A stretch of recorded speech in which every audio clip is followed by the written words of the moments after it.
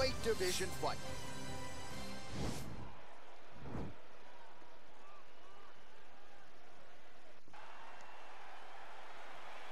You ready? Uh, you ready? All right, we're in Anaheim, California at Honda Center tonight. A lot of UFC history and championship history inside these walls. It's so crazy how the UFC... Oh! Yeah, Oh, he might be in trouble here after that big diving punch. Dominant position for him here, full mount. If you're the bottom fighter, better start moving those. Oh, looks like he's transitioning to an armbar. You cannot stay in the guard of these great jiu-jitsu guys.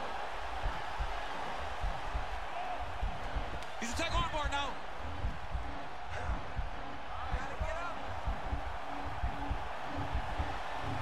You got to recognize that when a guy starts to put his feet on your hips, you got to move him off, and you got to cover. You can't be off to an angle. And he's out. All right, hammer fist here by Johnson.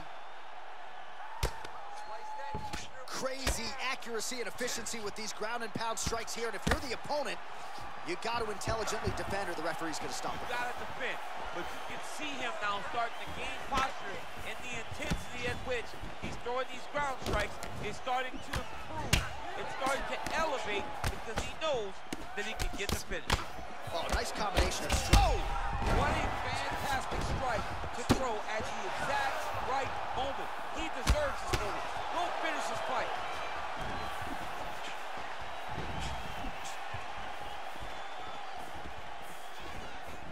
He's throwing every part of himself into these big leg kicks. Throwing haymaker. Oh!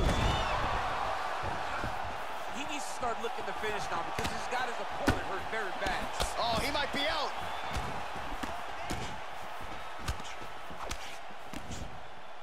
A big right hand there.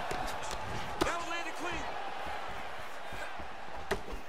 Under two minutes to go in a back and forth first round here. Oh, and he connects with a punch there, DC. You gotta like what you're seeing thus far. I mean, the speed at which he throws is crazy. Straight right, he misses. Nice defense on the single leg takedown. You can tell he's worked on that. Right hand punch to the clinches.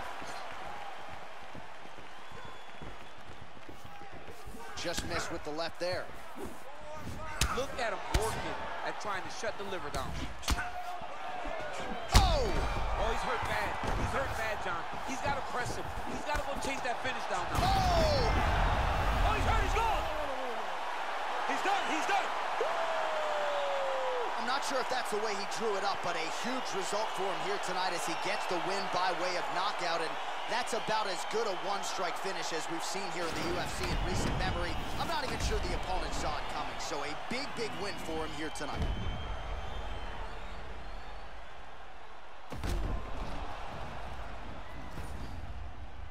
Well, what a moment for him here tonight. A huge knockout on one of the sport's biggest stages.